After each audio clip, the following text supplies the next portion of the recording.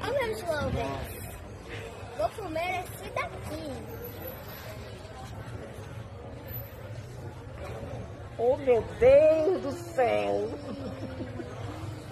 Que delícia! Experimenta um. Então. Não, minha filha, não. Eu sei que é altamente nutritivo, mas não vai, não. Altamente nutritivo. Gente, eu tô acreditando. Tinha. Agora eu vou experimentar a baratinha.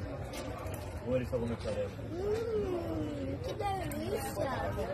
Lembrou o que, vocês baratinha?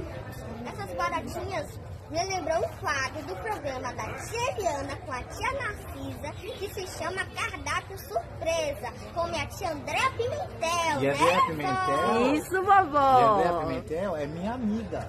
Ah, a Andrea vai ver seu vídeo. No, no dia da eleição, a Juliette comeu minhas baratinhas. Uau.